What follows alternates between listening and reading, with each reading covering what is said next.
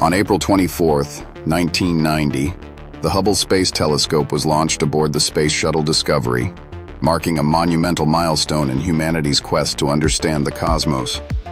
Positioned in low Earth orbit, Hubble operates above the distorting effects of Earth's atmosphere, allowing it to capture incredibly sharp and detailed images of the universe. Shortly after deployment, scientists discovered a flaw in Hubble's primary mirror that blurred its initial images. However, a bold and complex servicing mission in 1993 successfully corrected this issue, unlocking the telescope's full capabilities.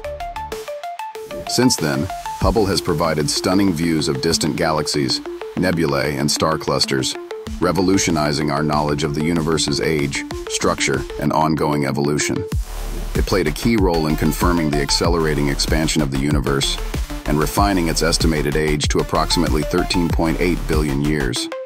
Beyond this, Hubble's observations have led to the detection of atmospheres around exoplanets, detailed maps of dark matter distribution, and vivid insights into star formation processes. The telescope's enduring legacy stands as one of the greatest scientific achievements, inspiring countless people worldwide to gaze upward and marvel at the vastness of space.